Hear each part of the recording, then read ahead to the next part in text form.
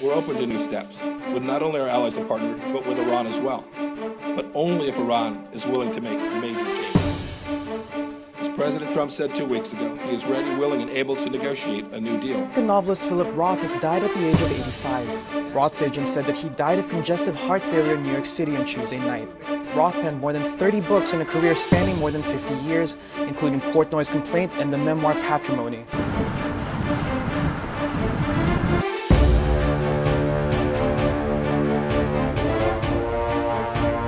State of Palestine took an important and historic step towards justice for the Palestinian people to continue to suffer from ongoing, widespread, and systematic crimes.